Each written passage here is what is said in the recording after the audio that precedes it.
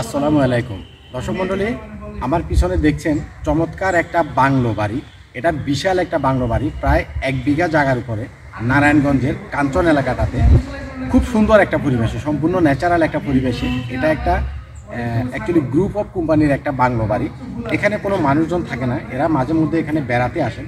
তো অ্যাকচুয়ালি এই এলাকাটাতে কোনো কারেন্ট নাই টোটালি ইলেকট্রিসিটি নাই। তো এটা যেহেতু বাংলো বাড়ি, এখানে আছে পানির ঝর্ণা।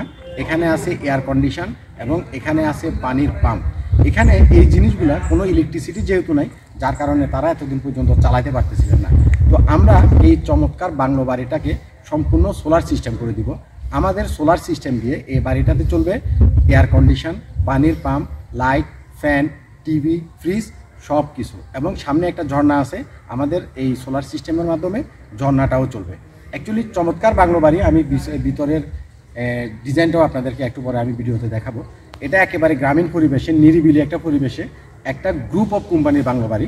আমরা সঙ্গত কারণে কোম্পানির নামটা প্রকাশ করতেছি না। খুবই চমৎকার।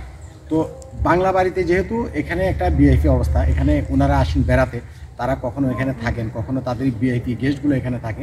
তো এখানে ইলেকট্রিসিটি না থাকার কারণে এই যে কোটি কোটি টাকার বাংলো বাড়ি, এটা একেবারে অকেজ অবস্থায় পড়ে আছে। আইপিএস মার্ট এই বাংলো বাড়িটাকে সম্পূর্ণ সোলারের আওতায় নিয়ে আসবে এবং এটাকে আমরা করে দিব হলো হাইব্রিড সোলার সিস্টেম যার ফলে দিনে সূর্যের আলো থেকে সরাসরি এই বাংলো বাড়িতে সব কিছু চলবে এবং আমরা এখানে ব্যাটারির ব্যাংক করে দিব, যাতে করে রাত্রেবেলাতে ব্যাটারি থেকে সম্পূর্ণ বাড়ির লাইট ফ্যানগুলো চালাতে পারে। দিনে এসিগুলো চলবে, রাত্রেবেলাতে এসিগুলো আমরা চালাবো না। এয়ার কন্ডিশন পানির মোটর এগুলো সানলাইট থাকা অবস্থায় আমরা চালাবো।